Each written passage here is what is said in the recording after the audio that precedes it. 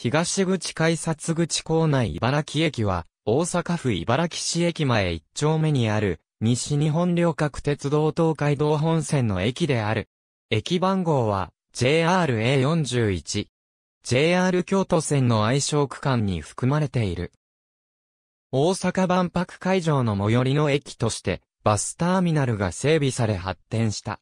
また当駅は、茨城市の代表駅に指定されており、新快速が通過する駅の中では最も乗車人員が多い駅である。当駅と阪急京都線茨城市駅の間は、距離にして約 1.5km、徒歩なら約18分かかる。両駅間を阪急バス、近鉄バス、京阪バスが結んでいる。阪急への乗り換えは、摂津戸田駅や高槻駅がより資金である。新快速停車の計画があると何度か報じられたが、JR 西日本からの公式発表はなく、以降進展する気配もない。なお、ダイヤが大幅に乱れた場合などは新快速が臨時停車することがある。回送列車や臨時列車は通過待ちのため当たり駅で運転停車することがある。東口デッキ島式ホーム2面4線を持ち、さらにホームのない対比線を上下1本ずつ備えた地上駅で橋上駅舎を有している。12両編成の列車に対応している。当駅の千里岡方からは貨物列車用の線路が分岐しており、水田貨物ターミナル駅から梅田貨物線や北方貨物線などへ入る列車は貨物列車用の線路に入ることになる。改札内にトイレがある。直営駅で高槻駅長の管理下にあるが、水田駅と同様に、地区駅長が配置され、当駅は、占領下駅を管理している。移行か利用可能駅。日中時間帯は1時間に12本停車する。朝ラッシュ時は、本数が多くなる。改札前コンコースに、自動券売機、緑の窓口がある。駅改良工事に伴い、改札正面から改札隣に移動した。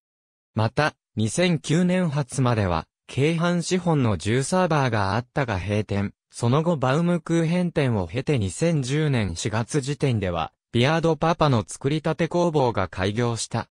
隣のスペースには、ミスターミニットが入居していたが、2013年初頭に閉店、2014年からは、マイコンのコウハラが1年間限定で営業。その後洋菓子屋となっていた。いずれも、駅改良工事に伴い2016年10月31日をもって閉店した。なお、同じく駅改良工事に伴い、エスタシオンカフェ、メンカ、キオスクが閉店、日本旅行が閉店している。改札内コンコースではパン屋が営業していたが、こちらも駅改良工事に伴い閉店した。東口階段下には、コンビニ、ハートインがあったが同様に、駅改良工事に伴い閉店した。西口階段下には、レンタサイクル、駅リンクンがある。なお、2018年春に一連の駅改良工事が完了し、以下の各店舗が開業した。また、当駅に設置されているトイレは、大阪府内の JR の駅としてはかなり早い段階から無料でトイレットペーパーが設置されていた。エレベーターは両ホームと改札街トを結ぶものと、改札街と地上を結ぶものが設置されている。2017年9月11日には両ホームと改札街トを結ぶエスカレーターの使用が開始された。2020年度の1日平均乗車時人は36,110人であり、JR 西日本の駅では、尼崎駅に次いで第17位。新快速通過駅の中では、最も多い。茨城市内で最大の利用者数を誇り、阪急京都線の茨城市駅より当駅の方が利用者は多い。近年の1日平均乗車時人は以下の通りである。西口バスターミナルと茨木ショップタウン西口バスターミナル、大阪モノレールの開業以降、万博記念公園へのバス利用者は激減。その後、エキスポランドの閉園もあり、同園方面の便は大幅に減らされていた。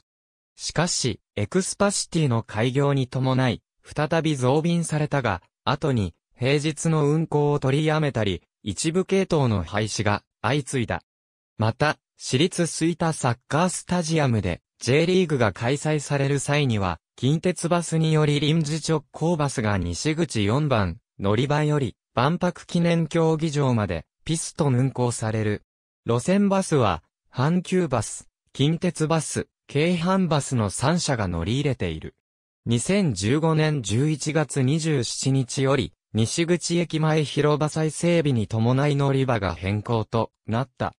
さらに、2016年12月5日からは、4番、乗り場を発着する、近鉄バスの一部路線が、三菱 UFJ 銀行前に、新設の11番乗り場からの発着に変更された。近鉄バス、京阪バスが、路線バスを運行するほか、関空リムジンバスが発着している。なお、2015年3月16日より、東口ロータリー再整備完了に伴い乗り場が変更となっている。バス乗り場の容量の関係上、近隣の学校のスクールバスや企業の通勤バス等は駅前ではなく、駅より多少離れた場所より発着している。主な発着場所は以下の2カ所であり、茨城市が管理を行っている。出店。ありがとうございます。